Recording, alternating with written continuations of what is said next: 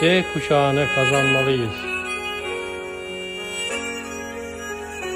Kimliğimi kaybettim, oldu zayi, diyor Z kuşağındaki Niyazi. Derdim olmadı, ne şehit ne gazi. Hiç yaşadığım her yer vatanımdır.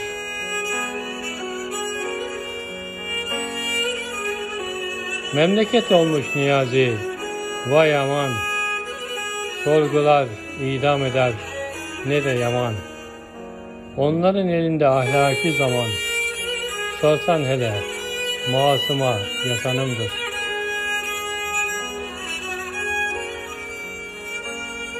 Bu anlayışın sorumlusu biziz.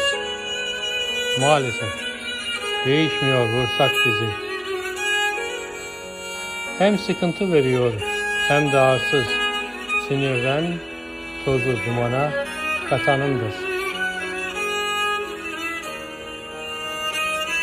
Saffet daha da kötüsü olmadan, algıyla çevreme yanlış olmadan, ana baba başı eğik solmadan, neyse bulmalı teşhise tanımdır. Ana baba başı eğik solmadan, neyse bulmalı teşhise tanımdır. Teşhise tanımdır.